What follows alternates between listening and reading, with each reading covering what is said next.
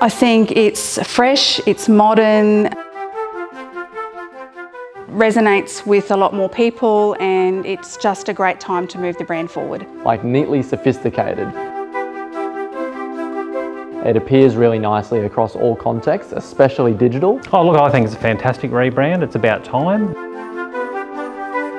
You know, it, it brings us from where we've been for 20 years uh, into the new age. And the prospect of doing this rebrand really excited me. Because it was an opportunity for us to re-image the business. The change is a big step and I think it's in the right direction.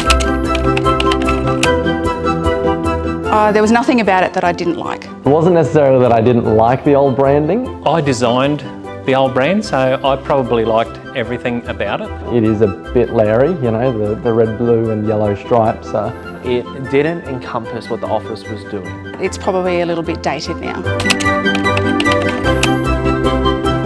Absolutely the right time. Look, I, I think it, it's, uh, it's very important to make the transition now. Our office has got a tremendous amount of momentum behind it. I think it was really important uh, for the next leg of our growth as a business, our next level of maturity as a business. Another thing is we're changing our office location. We're going from Railway Street over to 200 Hume Street, uh, so I think it's a great opportunity to rebrand everything.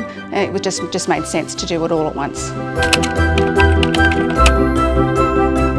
My initial reaction was good, but not great. I was concerned as to what Leon would think. I liked parts of it and I, I really didn't, didn't like a couple of other bits of it. The first concepts were frightening. They were so different to what we have had and what the business has had and held for 20 years. I think our marketing team did a wonderful job. Uh, I'm super happy with where it is now. I'm really excited to see it on one of our new for sale boards or for lease boards and see what the public think about it.